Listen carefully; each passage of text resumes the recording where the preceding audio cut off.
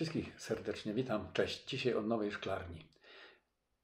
Była jedna szklarnia długości 5 metrów, e, 50 na 2,80, ale okazało się po czasie, że to trochę małe.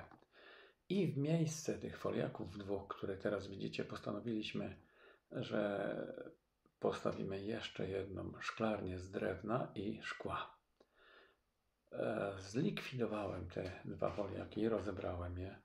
Konstrukcje jeszcze były dobre, więc a miałem kupione już nowe pokrycia, więc udało mi się kogoś tym obdarować i ktoś będzie zadowolony.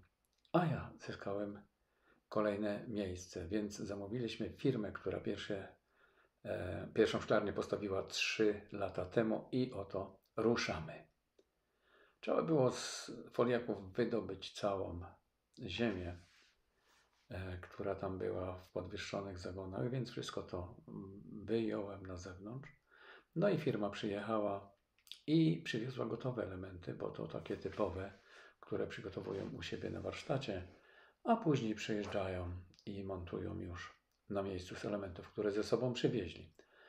Zabetonowane są kotwy, które e, podtrzymują belki nośne i rozmiar tego jest 8 metrów na 2,80.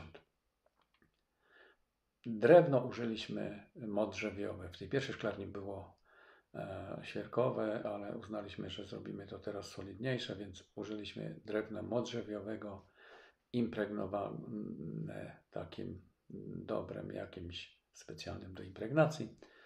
I tak oto powstawała ta konstrukcja szklarni pierwszego dnia.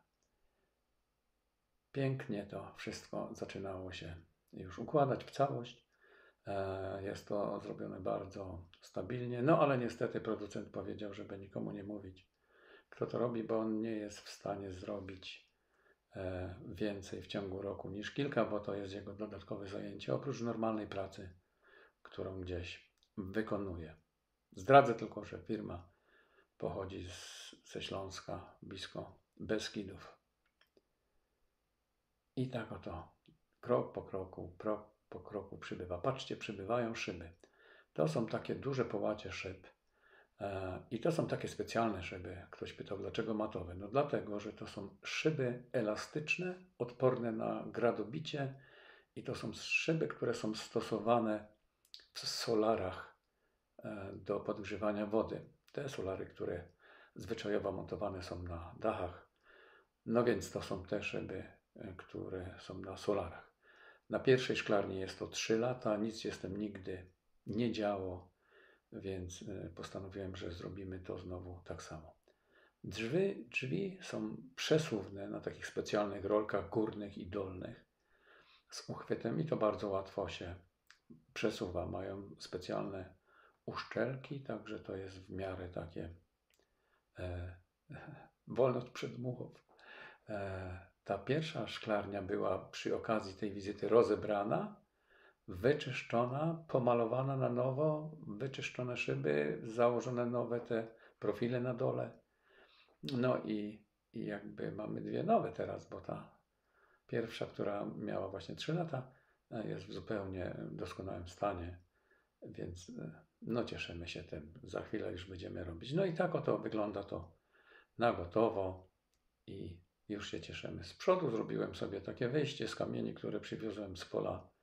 E, Poukładałem trochę na suchym betonie, e, zasypałem suchem, roztarłem i spłukałem wodą. No i tak oto wyszło takie zwyczajne, prowizoryczne wejście, które zupełnie mi wystarcza do moich celów.